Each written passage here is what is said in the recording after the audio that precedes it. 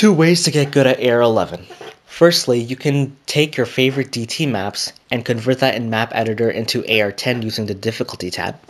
And secondly, you can take easier hard rock plays that can convert to AR10 and then just add DT on top of that. I prefer the first method because it carries over to your competency with double time, in which I believe is a prerequisite towards AR11 and it also works as a sort of uh, speed check.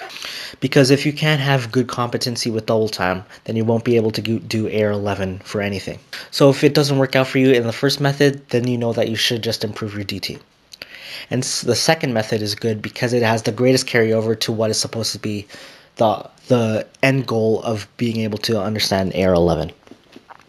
if you can play AR11 with HD HRDT, then you have a wider branch of more maps and more different um, mod sets to help you grind even further and to raise in, the, raise in the ranks. I am nowhere near the competency to be able to FC AR11 stuff, but that is just in my opinion some of the ways that I would be progressing towards that specific goal.